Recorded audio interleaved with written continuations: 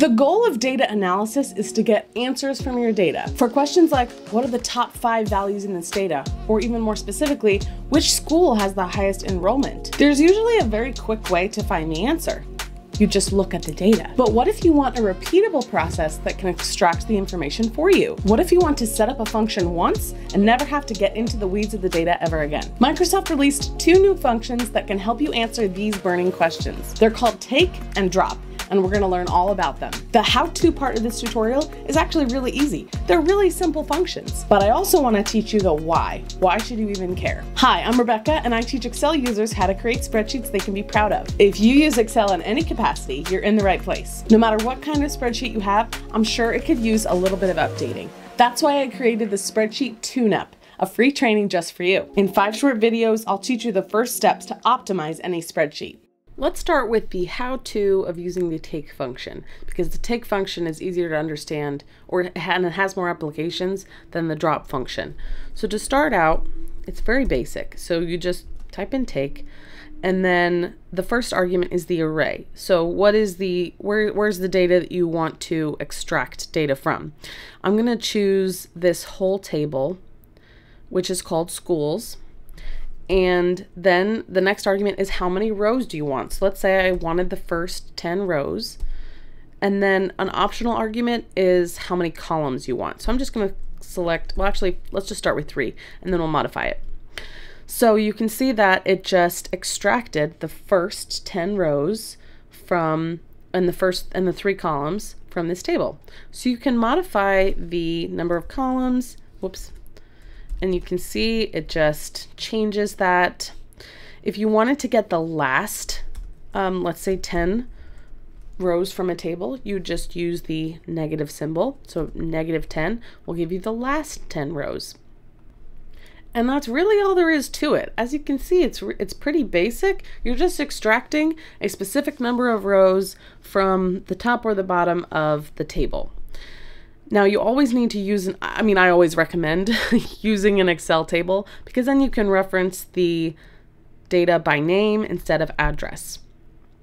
But this is all very cool, but it's like, why, why, why would you need to use this? So let's answer that question with some specific examples of uh, data questions that you can answer with this function.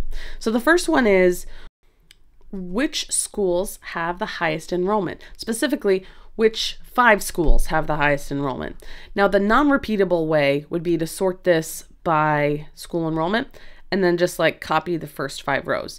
But what if you wanted the a repeatable process, meaning the function does that for you? Well, we're going to start, we're going to just start over. Um, and start with the take function. But the array that we're going to call is not all of the table it's all of the tables sorted by school enrollment. So we're going to start with another function, which is sort by, and that will um, take an array as the first argument. So I'm going to sort the schools table by another array, and that will be the school enrollment column. The sort order, we want it to be descending because I want the largest schools first. So then I'll put a negative one here and then close the parentheses. And then we're back to the take function. So we're going to take the first five rows and let's say we do want all three columns. So now we have, and you can see that that, um, oops, these, these match up if you do it the long way, which is Blue Springs High, Marquette, all these are exactly the same. So now we have a function that's doing that for us. So we can leave this table sorted um, alphabetically by district, and instead we can easily view the top five schools by enrollment at any time.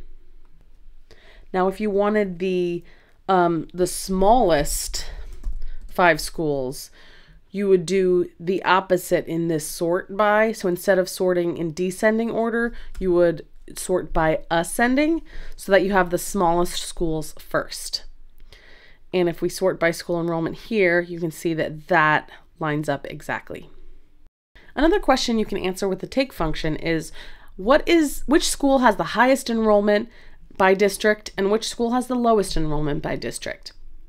Now, to do this kind of summary, you first need a list of the unique values for the whatever grouping column you have. Mine is called district name, and the way that you list that out is to use the unique function. So if you check out my video called combine combine multiple rows into one row that I just released, um, it we use this a lot so you can get some more experience with this but uh, anyway so we have a list of the unique uh, districts that are in this data table so this is the whatever grouping column you have and then we're going to use a combination of take, sort, and filter. This is a super powerful combination of functions. I always like to build functions from the inside out because it lets you easily see exactly what is being um, fed into each function. So we're going to start with filter because the first step is to extract only the schools that match each row for the district. So what we want to return is the whole table schools, but we only want the values where the district name here is equal to the district name in the schools table. So you can just replace district name with whatever grouping uh, column you have. And then if empty, just return a blank space, which will be which we uh, refer to with two double quotes, and then close parentheses. So now you can see what we've got here is all of the um, the whole school's table, but only for this district name. Obviously, it's too big, but we're going to cut it down with the next function. So now outside of the filter function, so we're going inside to out, the next one is called sort. So we're going to put that um, at the beginning. And then the first the first argument is an array, which is the result of the filter function. So we leave that first argument and then add a comma.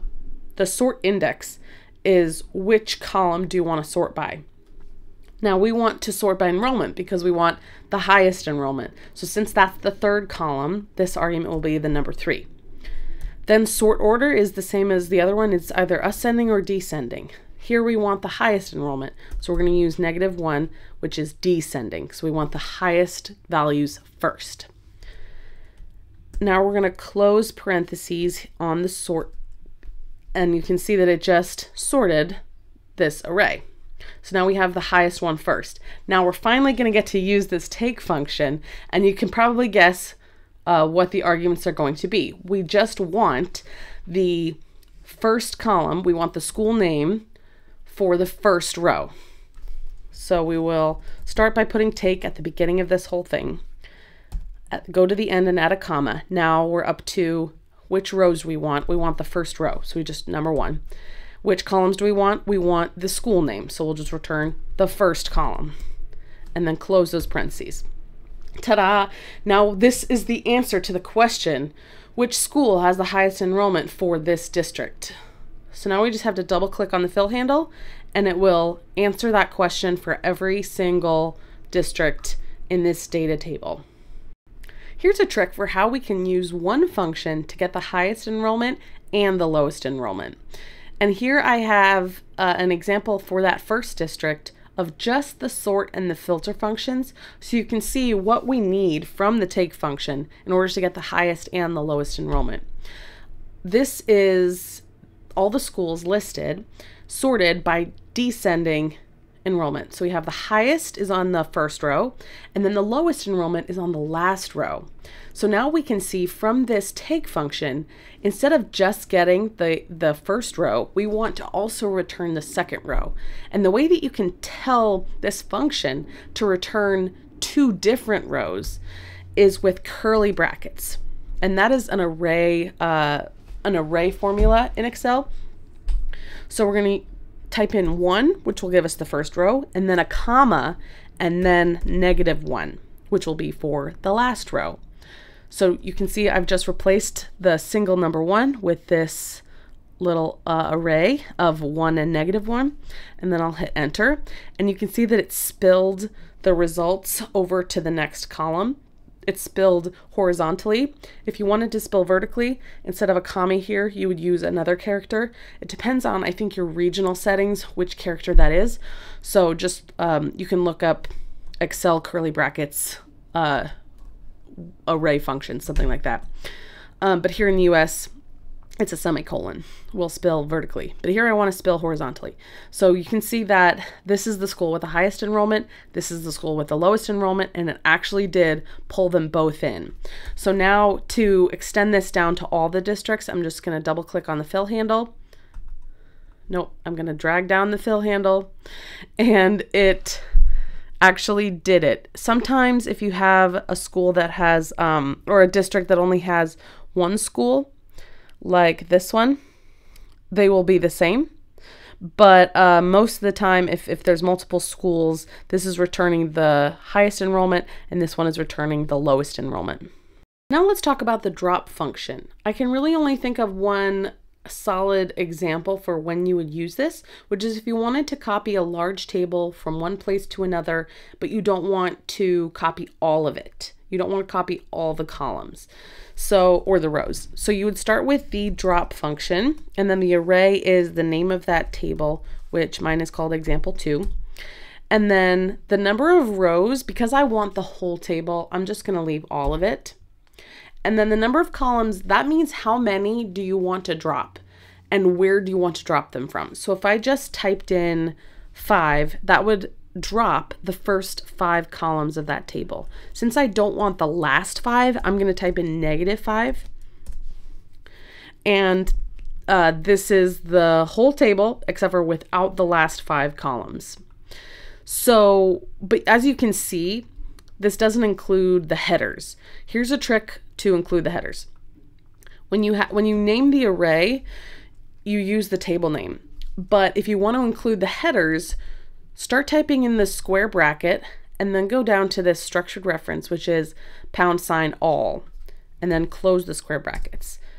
And now you can see that the headers came with it. So this is just a really nice tool to have in your toolbox whenever you need to like summarize or reshape data. Note, these functions are only available for Microsoft 365 and Excel for the web. By the way, Excel for the web is free. Let me know in the comments what you think of these two functions. Can you think of any applications that you can use them in your work? I can't wait to hear from you.